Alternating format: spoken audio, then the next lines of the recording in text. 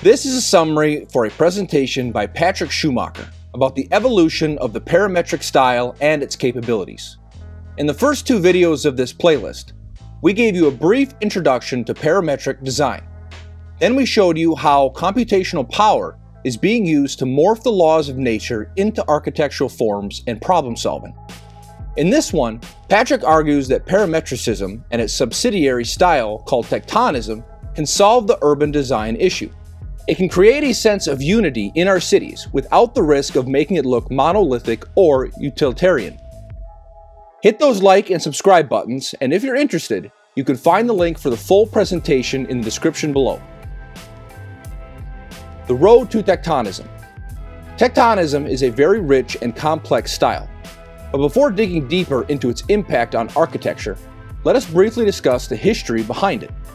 The work of Le Corbusier and others during the era of the Industrial Age laid out the path to modern architecture. It dominated the discipline for around 70 years, replaced the classical mentality, and underwent many transformations. Then came two important transitional styles that carried us from modernism into parametricism. These two styles are postmodernism and brutalism. Parametric design is the architect's use of computational and communication technologies.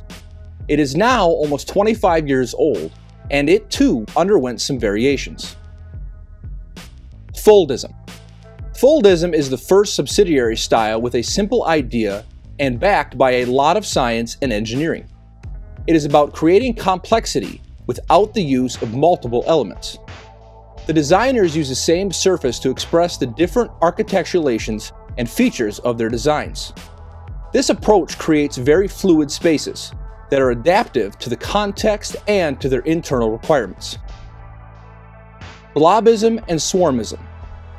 These two are basically similar to the first iteration of parametric design.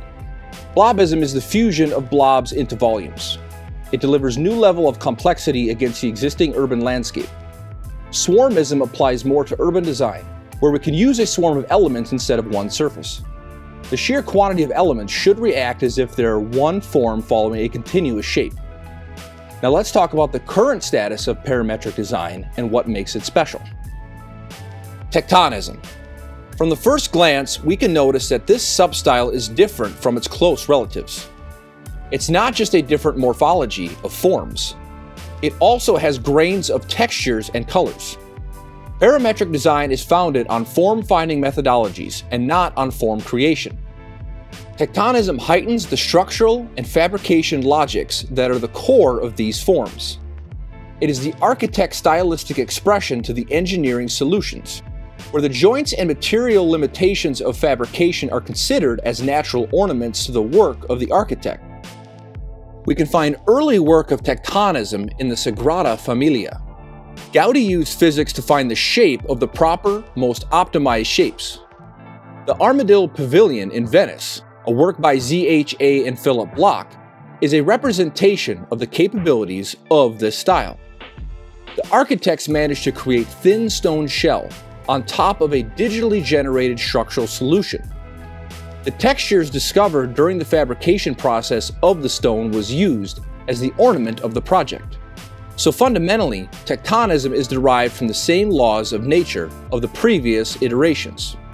However, the artist stylizations of these laws can create a lot of varieties for the same solution. This by itself can help us create cities that are diverse in character while similar at their core. We also have to notice that the optimization process of this style makes it light and light-footed or environmentally friendly. Let us know in the comments section below if you find this video useful and if you are interested in specific topics that you would like us to cover. Hope you enjoyed this one as much as we did, and thank you.